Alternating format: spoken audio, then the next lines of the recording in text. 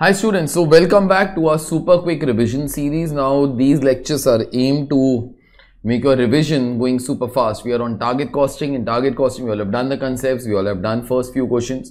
More or less all the questions do speak about the same particular thing. That is, we want to be cutting down our cost. So therefore, we can sell the product at the price that I want because the price is very important. So therefore, how to be cutting down the cost? We always say that value analysis and engineering is a way to be going forward. So question number seven, we are going to be doing exactly the same particular thing. There is some company which is manufacturing racks. Current cost is given to you. In current cost, you have been given what should have happened. Okay. What actually happened? What was actual cost? Currently, the selling price is 750 and we produce and sell 10,000 racks per annum. In our first part, we were only asked find out the actual cost and actual profit. So therefore, we total up all these things that comes to 61 lakh 50,000 divided by 10,000. So therefore that was coming to 615. Subtract that from the selling price, you will arrive at your current profit. So current profit in this particular case was 135 rupees. Okay. Now 135 in this particular case was your current uh, profit. Now in part 2, okay, those guys are saying what? Some competition has come, we got to be reducing our price to 675 but still we want to be maintaining our profit. Find out the target cost. So therefore 675 minus we still want to be having a profit of 135 so let's try to cut down our cost to 540 and then in part 3 they are asking you that please give some ideas how to be cutting down the cost. So what ideas can we be giving? Now see there were four costs over here. Material labor machine setup and mechanical assembly. Machine setup in any case is supposed to be a non-value added activity. Okay. Now, non-value added does not mean that we need not be doing it. It means that customer does not value. Now, this budget was also there for 10,000 units. That thing was mentioned over here. Okay, the actual and the budgeted operating levels are same. So, for 10,000, we should have consumed this much material. We consumed this much. So, obviously, this actual cost was higher because of the inefficiency. So, therefore, first thing that First idea that we all give, try to cut down the material cost. How to be doing that?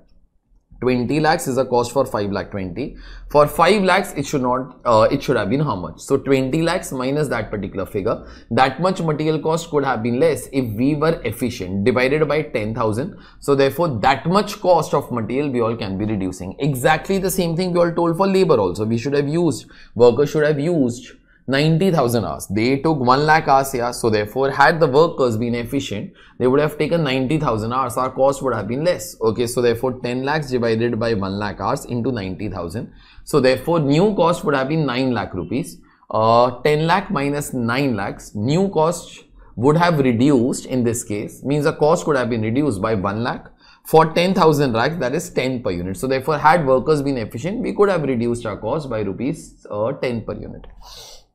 But then these ideas fail when we come to machine setup and mechanical assembly. Why? Because both these activities were done in an efficient way. So therefore, now we cannot be saying those things. Maximum for machine setup, you can try to be saying it being a non-value added activity, customer doesn't value it.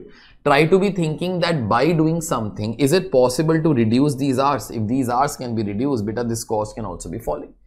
Okay, but Mechanical assembly is a value added activity. You are assembling the product. It is your manufacturing. This is value added. This is value added. Okay. All these things are value added. Now, all our ideas are finished. Whenever your ideas are finished, then your theory starts. Okay. How to be cutting down the cost further. So, how to cut down the cost further? Try to do value analysis and value engineering. Value analysis and value engineering, they focus on whatever is a product that you all make. Try to think how that product is made how many parts are used? Can it be produced better? Can some alternate materials be used? Okay. Can design be simplified? Can fewer parts be used? Okay. Answer all these particular questions. Call a technical guy who can take care of the new design process also. With the help of that can you cut down the cost more? Okay. So therefore uh, currently our cost came as 615 okay. That is 61 lakh uh, 50000 divided by 10000 we want to be cutting down, we want to be trying to reduce our cost to 550. So therefore we had to reduce our cost by 75. with the help of material, we will be able to cut it down to uh, some extent. For labor, we will be able to cut it down to rupees 10 if we were efficient.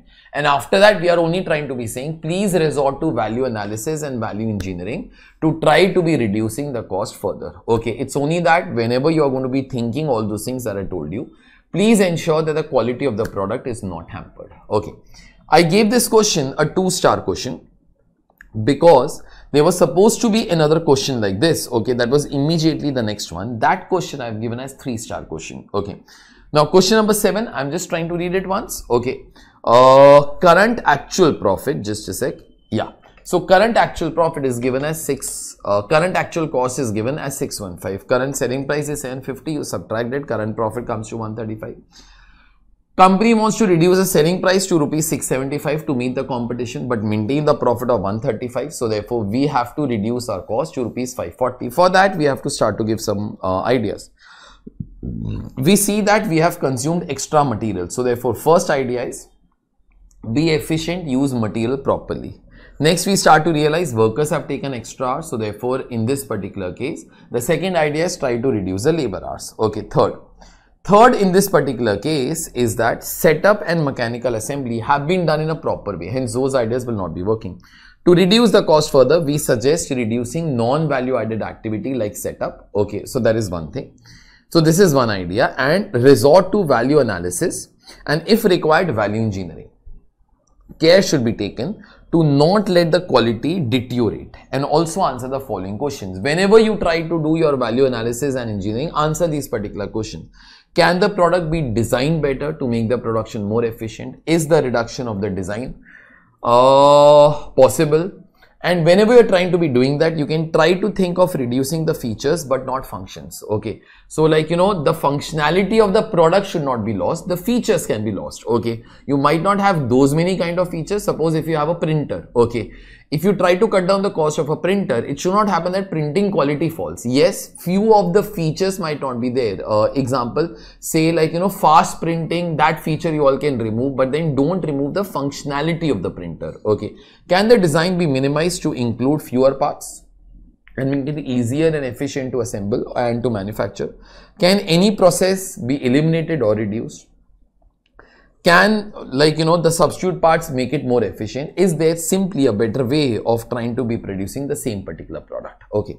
Now for question number 7 i had kept a question number 8 a similar question that was asked in november 2020 exams. It is almost same as the previous question but then there is one extra thing okay? So whenever you're trying to think of trying to reduce like you know the cost there will be some other points that will be coming. So ensure that you all pay attention to that. Try to read that in case you still don't get. In any case you have your answers of all the examination papers. Okay that you all can try to be seeing. Or in any case the homework sections there on the website also. Okay then.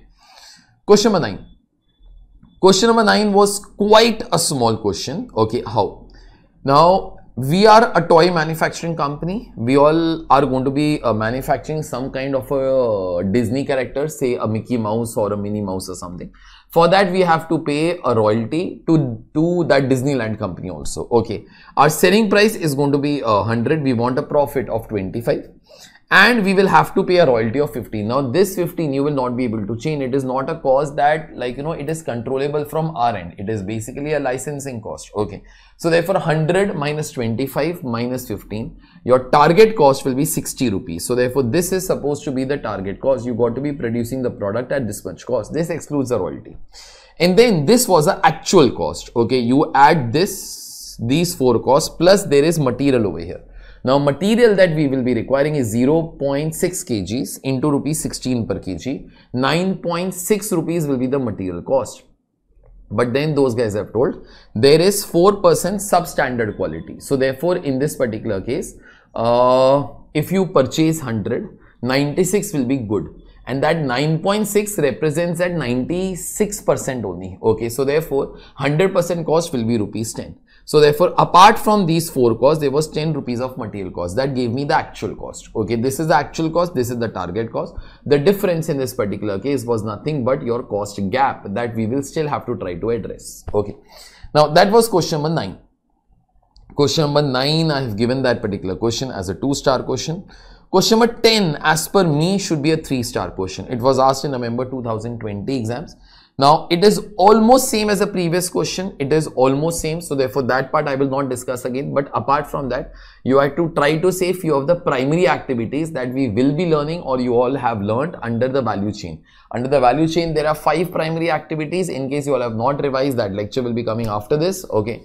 But uh, under the value chain, you all have five types of primary activities. Which five? You have inbound logistics, productions and operations Third one you have is outbound logistics. Fourth one you will have marketing and sales. And fifth one you have after sales service. Okay. So therefore you have to try to mention that what are the activities of this particular company as such. Okay.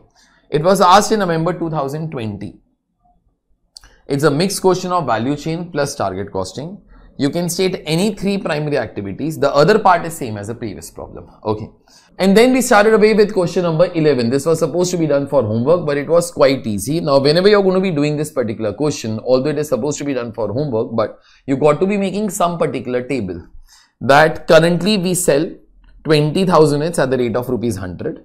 Whenever we reduce the selling price by 10, the demand is double. So therefore, keep on making a thing like 20,000 selling price is 100, 40,000 will become 90, 80,000 will become 80, somebody can be thinking sir let's continue no? Okay no. Because the max capacity is 80000 only. Okay. So therefore in that particular case we start away the things from there. Okay. And then the further part of the question is not supposed to be that tough. Okay. It is going to be quite easy. The profit margins are given to you. The selling price is there with you. So therefore you have to try to subtract to arrive at cost. Okay so I think so you will not be having any kind of a problem in getting it. In any case, I have only kept 12 minutes for solving this particular question. That also tells you that question is going to be quite small. Please ensure that whenever you are trying to do your uh, chapters, your homework section is done at that particular time only. Later on, nobody does that. During the study leave, please don't spend your precious time in trying to be doing the homework section. It is supposed to be done when, in this case, your normal, that is, your normal lectures are going on. Okay. That's it from my side. This is or this was question number 11. Okay. Next time I'll catch you up uh, with super quick revision series again. Thank you guys. Bye.